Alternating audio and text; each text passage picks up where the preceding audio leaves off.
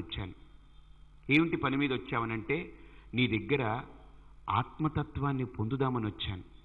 ఆత్మజ్ఞానాన్ని పొందుదామని వచ్చాను. వెంటనే సనత్ కుమారుడు అంటాడు నారదా నన్ను ఏమైనా పరీక్షించడానికి వచ్చావా? నేను ఎవరి జోలికి వెళ్ళేవాడిని కాదు అసలు నాకు ప్రకృతితో సంబంధమే లేదు. నేను హాయిగా నిక్షేపంగా హాయిగా నా బ్రహ్మ విచారంలో నేనున్నాను.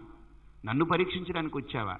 కాదు స్వామి నాకు తెలియందంటూ ఏదీ లేదు. ఒక ఆత్మజ్ఞానం తప్ప ఒక ఆత్మవిద్య తప్ప. అన్నీ తెలుసు.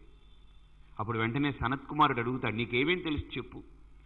ఋగ్వేదం భగవో అధ్యేమి యజుర్వేదగం సామమాథర్వణంచ శిక్షాకల్ప వ్యాకరణ ఛందో జ్యోతిషమితి భూత విద్య నక్షత్ర విద్య గరుడ విద్య సర్ప విద్య నిధి నిక్షేప విద్య ఇంకా చెప్పుకుంటూ పోతాడు ఎన్ని విద్యలో ఎన్ని విద్యలో ఎన్ని విద్యలో. అతను చెప్పిన విద్యలు ఈ లోకంలో అసలు మనకి ఇంకా కొన్ని విద్యలైతే ఇంకా బయటపడలేదు. అన్ని విద్యల లిస్ట్ ఇస్తాడు చాంద్రోగ్యోపనిషత్తులో. ఇచ్చి ఇవన్నీ తెలుసు. ఇన్ని విద్యలు తెలుసా నీకు?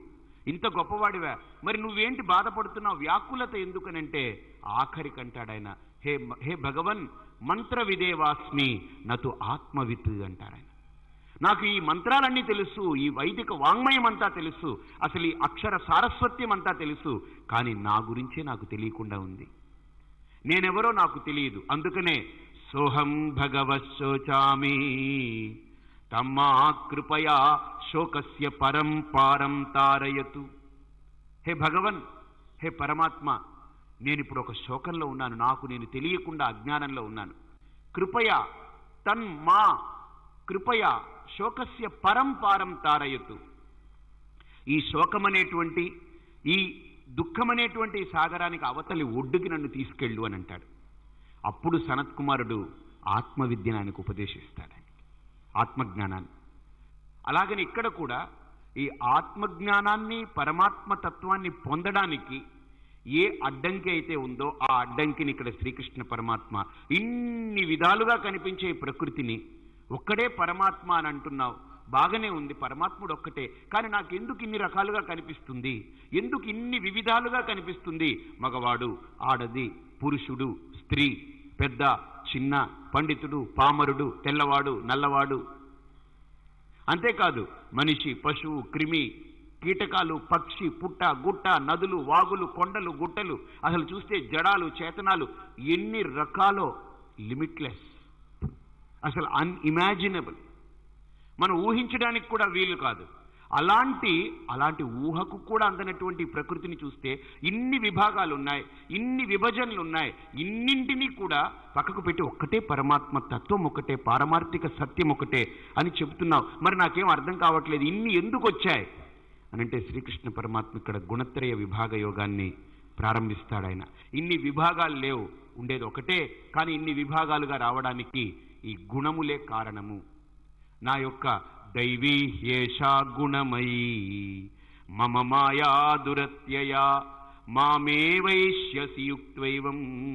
ఆత్మానం మత్పరాయణ. కాబట్టి అర్జున ఇక్కడ ఇన్ని రకాలే ఉండేది నేను ఒక్కడనే. నా మీద కల్పించబడిందే ఇన్ని రకాలు కూడా. ఈ కల్పన ఎందువల్ల వచ్చిందనంటే మమ మాయా దురత్యయా దైవీ హేషా గుణమయీ నా దగ్గర ఉన్నటువంటి మాయ ఉంది అది చేసేటువంటి విన్యాసాలే. అవి చేసే కల్పనలే. అవి చేసే ఊహలే. అవే ఇన్ని రకాలుగా సృష్టిస్తున్నాయి. ఇన్ని రకాలుగా క్రియేట్ చేస్తున్నాయి.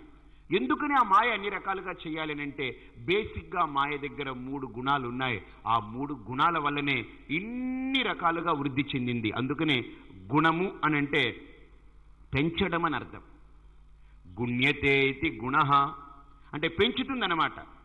ఒకటి ఉంటే చాలు అది పెంచుకుంటూ పోతుంటుంది.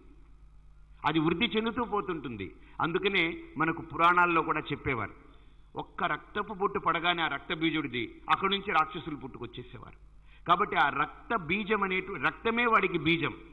ఆ రాక్షసుడు పుట్టడానికి వాడి రక్తమే బీజం. తండ్రి యొక్క ధాతువు కాదు వాడి రక్తమే వాడు ఇంకో రాక్షసుడిగా పుట్టడానికి బీజం. అందుకనే వాడికి పేరు రక్త బీజుడని పేరు. వాడు మళ్ళీ పుట్టడానికి అదే బీజం. కాబట్టి ఇక్కడ కూడా ఒక్కటి ఉంటే చాలు అది వృద్ధి చెందుతూ పోతుంటుంది. కాబట్టి ఇక్కడి గుణత్రయ విభాగ యోగంలో శ్రీకృష్ణ పరమాత్మ ఈ గుణాల గురించి చాలా అద్భుతమైనటువంటి వ్యాఖ్యానం చేస్తారు. చేస్తే ఇక్కడ మనం బేసిక్గా అర్థం చేసుకోవాల్సింది ఏంటంటే ఫండమెంటల్ ఫ్యాక్ట్ ఒకటి తర్వాత క్రియేటెడ్ కాన్సెప్ట్ ఒకటి. అంటే మౌలికంగా బేసిక్గా ఆధారభూతంగా ఉండేటువంటి సత్యం ఒకటి దాని మీద కల్పించబడినటువంటి ఈ సృష్టి ఒకటి. అదేంటండి ఎలాగండి కల్పించారు అని అంటే మీరు బాగా ఆలోచించండి. ఒక బంగారపు ముద్ద ఉందనంటే దాంట్లో ఏ రూపం లేదు ఏ పేరు లేదు దానికి ఏ గుణము లేదు కేవలం బంగారమే. దాన్ని కనుక మీరు కంసాలి చేతిలో పెట్టి గోల్డ్ స్మిత్ చేతిలో నాకు ఈ ఆభరణాలు కావాలి అని అంటే ఆ ఒక్క ముద్దలోనే అతను అన్ని ఆభరణాలు దాని వెయిట్ చూస్తాడు. అమ్మ గాజులు కావాలంటున్నారు ఎన్ని గ్రాముల్లో చేయాలి? ఓకే చైన్ కావాలంటున్నారు ఎన్ని గ్రాముల్లో చేయాలి? మీకు ఉంగరం కావాలంటున్నారు ఎన్ని గ్రాముల్లో చేయాలి? అన్ని రాసుకుంటాడు అన్ని గ్రాముల్ని రాసుకుని ఈ బంగారాన్ని తూకం వేసి అమ్మ కొద్దిగా ఇది తక్కువగా ఉంది ఇంత చేసుకుంటాం ఇది తగ్గించుకుంటామని మొట్టమొదట ఆ బంగారాన్ని తీసుకెళ్ళి ఇలా చెక్కాడు. బంగారాన్ని కాల్చి దాంట్లో కొంత కలుపుతాడు. ఆ కలపడం చేస్తేనే ఆభరణం తయారవుతుంది. ఆ కలపకపోతే బంగారం బంగారమే ఆభరణంగా తయారవ్వదు. శుద్ధమైన బంగారం ఆభరణంగా తయారవ్వలేదు. ఆభరణం కాకపోతే కేవలం బంగారపు ముద్దని మనం ఎక్కడా పెట్టుకుని తిరగలేం. కాబట్టి అందుకని ఇక్కడ కూడా శుద్ధమైన బంగారంలో నామరూపాలు లేవు. నామరూపాలు బంగారంలోకి రావాలి అని అంటే కలపాలి. ఆ కలపడం జరిగితేనే బంగారం ఆభరణంగా మారుతుంది. ఆభరణం యొక్క గుణం ఏంటనంటే ఇప్పుడు గాజులు ఉన్నాయనుకోండి వ్యవహార యోగ్యత్వం ఉంటుంది. గాజులు చేతిలో వేసుకుంటాం చూసుకుంటాం. బంగారపు ముద్దని చేతి మీద పెట్టుకోలేం. కాబట్టి శుద్ధమైన బంగారం వ్యవహారానికి పనికిరాదు ఉందనిపించుకుంటుంది అంతే దానికి విలువ అంతే. కానీ ఆభరణంగా మారితే మన ఒంటి మీదకి ఎక్కుతుంది. అలాగనే కేవలమైనటువంటి ఆ పరమాత్మ కలపడం కాకపోతే ఈ ప్రకృతి రాదు. ఈ ప్రకృతి ఇంత వ్యవహార యోగ్యంగా వచ్చిందనంటే ఆ కలపడం జరిగింది అక్కడ ఏదో మిళితం జరిగింది. ఆ మిళితం ఏంటి? ఇక్కడ రాగి కలిసింది అక్కడ మాయా అనేటువంటిది కలపడం. ఆ మాయా అనే కలపడంతో ఈ ప్రకృతి ఆవిర్భావమైంది. లేకపోతే శుద్ధమైన పరమాత్మలో ఏ భేదం లేదు. ఇక్కడ ఎందుకు ఆ ఉపమానం తీసుకున్నానో మీకు రాను రాను చెప్తాను. బంగారంలో రాగి కలిసింది ఇప్పుడు ఒక ఆభరణంగా మారింది. మీరు చూడండి ఇప్పుడు బంగారాన్ని రాగిని ఈ ఉంగరాన్ని చూస్తూ వేరు చేయండి. మీరు వేరు చేయండి ఇలా చూసి చేయలేరు.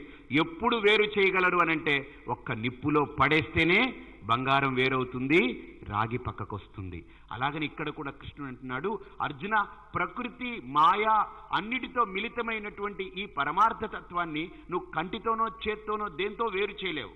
కేవలం ఒక జ్ఞానాగ్ని సర్వకర్మాణి భస్మసాత్ కురుతే తథా. ఒక్క జ్ఞానం అనేటువంటి దానితోటే వేరు చేయగలవును ఆ వేరు చేసినప్పుడు ఏమవుతుందంటే ప్రకృతికి నామరూపాలు ఉండవు నామరూపాలు విలీనమవుతాయి. మాయ తప్పుకుంటుంది నీకు శుద్ధమైన పర పరమార్థతత్వం. శుద్ధమైన పరబ్రహ్మతత్వం నీకు బోధకమవుతుంది.